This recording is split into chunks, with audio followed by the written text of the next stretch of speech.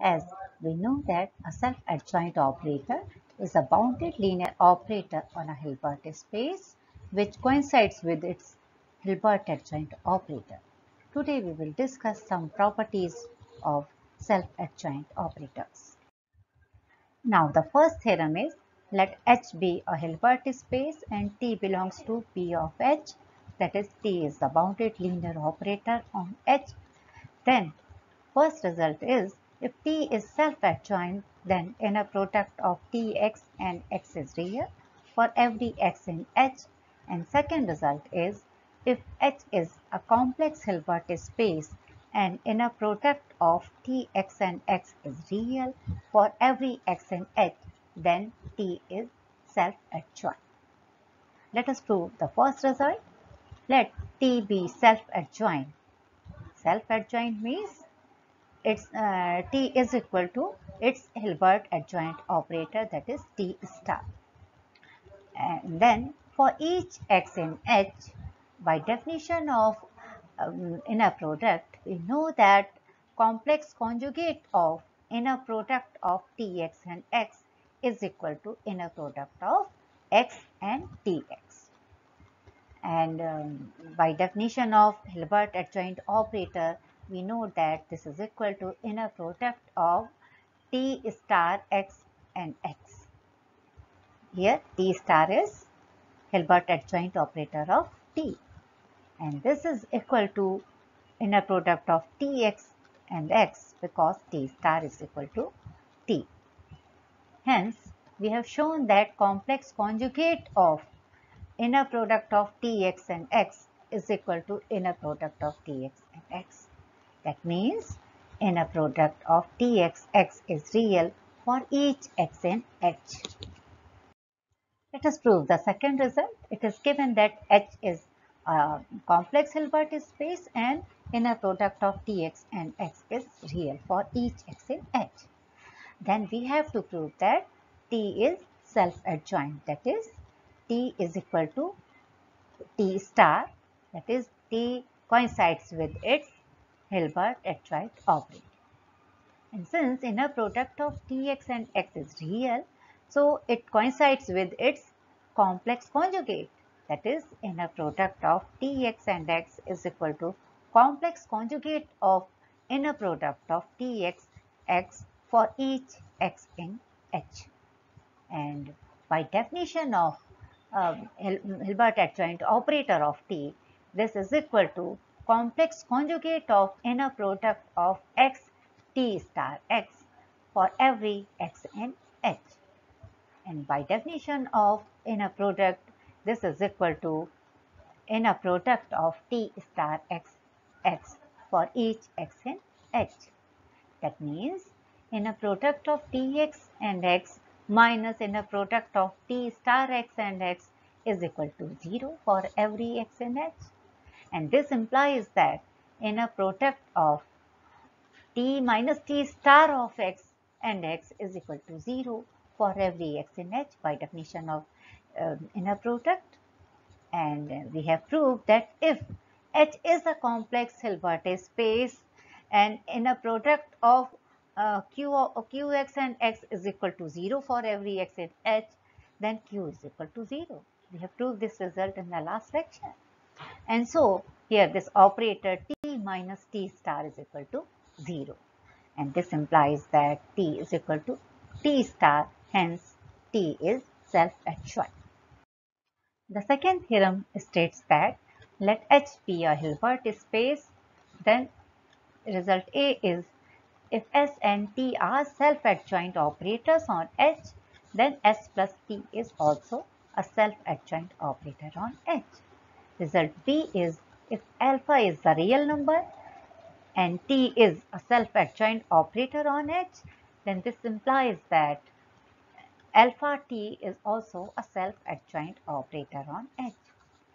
If Tn is a sequence of self-adjoint operators on H such that Tn converges to T as an tending to infinity in norm topology of V of H, then T is also a self-adjoint operator on H. That is, any sequence of self-adjoint operators on H converges to a self-adjoint operator on H. Let us prove this theorem. Now, uh, we have to prove first result that is A. Uh, we have to show that S plus T is a self-adjoint operator where S and T are self-adjoint operator. So, we find Hilbert adjoint operator of S plus T. In, in S plus T whole star that is Hilbert adjoint operator of S plus T is equal to uh, we know that this is equal to S star plus T star that is um, Hilbert adjoint operator of S plus Hilbert adjoint operator of T and since T and S are self adjoint operators so T star is equal to T and S star is equal to S. So this is equal to S plus T.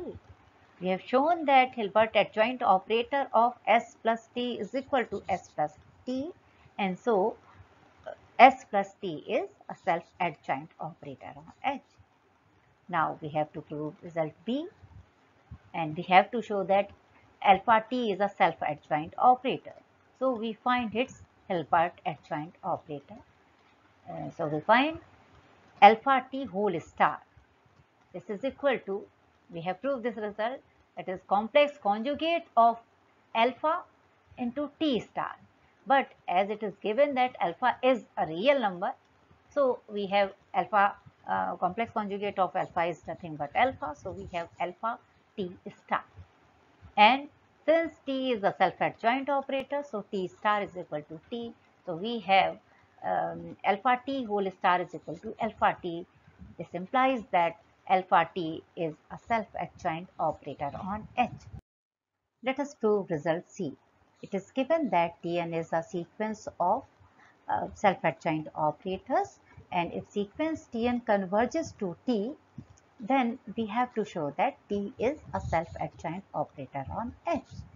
Before proving this result, we observe that norm of Tn star minus T star is equal to norm of Tn minus T whole star because Tn minus T whole star is equal to Tn star minus T star. So these two expressions are equal. And since uh, we know that norm of T star is equal to norm of T, we have proved this result earlier. So uh, we have this is equal to norm of Tn minus T mark it as 1. We have to prove that T is a self-adjoint operator. That is, we have to prove that T is equal to T star. So, we find norm of T minus T star. And uh, this is equal to norm of T minus Tn plus Tn that is adding and subtracting Tn minus Tn star plus Tn star that is adding and subtracting Tn star minus t star. By triangle inequality, this is less than or equal to norm of t minus tn plus norm of tn minus tn star plus norm of tn star minus t star. If we use 1, then the third term will become norm of tn minus t. And uh, norm of t minus tn is equal to norm of tn minus t. And um, the second term uh, will become norm of Tn minus Tn because Tn is uh, a self-adjoint operator for each n. So Tn star is equal to Tn. So second term will be equal to norm of Tn minus T, T that is 0. And so this whole expression is equal to uh, 2 times norm of Tn minus T. And since Tn converges to T as n tending to infinity, so this will tend to 0 as n tending to infinity. And since we know that norm of t minus t star is always greater than or equal to 0, so this will become 0. That means t is equal to t star. Hence, t is a self-adjoint operator. If H is a real Hilbert space, then uh, we know that if uh, S and T are two self-adjoint operators, then by A we know that uh, S plus H is also a self-adjoint operator. From um, result B we know that if alpha is a real number then and T is a self-adjoint operator, then alpha T is also a self-adjoint operator. That means we can say that S of H is a subspace of B of H. And from third result, we note that S of H contains its limit points. And so S of H is a closed subspace of B of H. As we know that B of H is a Banach space and since S of H is a closed subspace of B of H, so B of H is uh, S of H is a real Banach space. Let us prove third theorem which states that let H be a complex Hilbert space then every bounded linear operator T on H can be uniquely expressed as T is equal to A plus IB where A and B are self-adjoint operators on H. Let us prove this theorem. Since T is a bounded linear operator on H, so T star exists. Let A is equal to 1 by 2 T plus T star and B is equal to 1 by 2i A T minus T star. We are taking A and B like this and if we add um, 1 and 2 uh, then we find that T is equal to A plus IB. We, uh, actually we want to show that T is equal to A plus IB where A and B are self-adjoint operators. So we have to show that A and B are self-adjoint operators. So we find A star is equal to half T plus T star whole star. And since half, half is a real number, so uh, this is equal to half T plus T star whole star. And this is equal to half T star plus T double star is equal to half T star plus T because T double star is equal to T. So, uh, we find that this is uh, equal to A. That is A is equal to A star means A is a self-adjoint operator on H. Now, we want to show that B is a self-adjoint operator. So, we find its um, Hilbert adjoint operator. So V star is equal to 1 by 2i t minus t star whole star.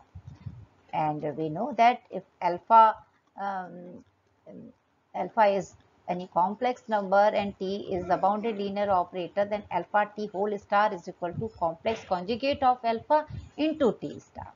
So here we um, find uh, complex conjugate of 1 by 2i that will be equal to minus 2i that is minus 1 by 2i t minus t star whole star. This is equal to minus 1 by 2i t star minus t star and of star that is t double star. And this is equal to 1 by minus 1 by 2i t star minus t says t double star is equal to t. And this can be written as 1 by 2i t minus t star. And that is nothing but b. So we have shown that B star is equal to B. That means B is a self-adjoint operator. Hence A and B are self-adjoint operators on H. It remains to show that this expression is unique. That is here A and B are unique. If possible, let T is equal to C plus ID such that C star is equal to C and T star is equal to T. Then T star is equal to C plus ID whole star that is equal to C star plus ID whole star that is uh, C star minus ID star because complex conjugate of I is minus and this is equal to C minus ID as C star is equal to C and D star is equal to T. And so T plus T star is equal to C plus ID plus C minus ID that is equal to 2C. And that means C is equal to half T plus T star and this is nothing but A. So we have shown that C is equal to A.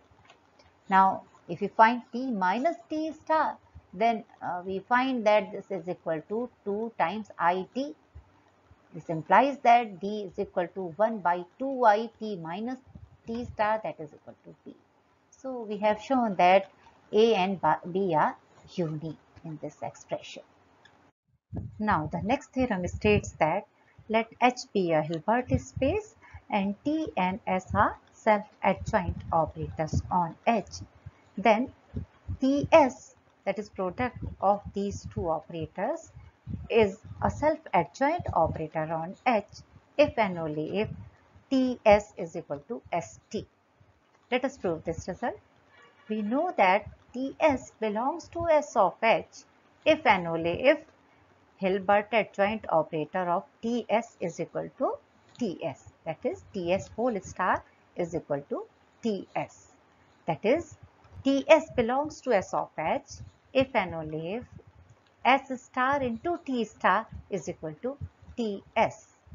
And since T and S are self-adjoint operators, so S star is equal to S and T star is equal to T. So we have shown that Ts belongs to S of H if and only if St is equal to Ts. Thank you.